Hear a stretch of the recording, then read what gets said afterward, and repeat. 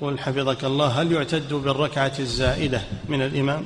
لا الزائدة ليست صلاة ولا يعتد بها. نعم.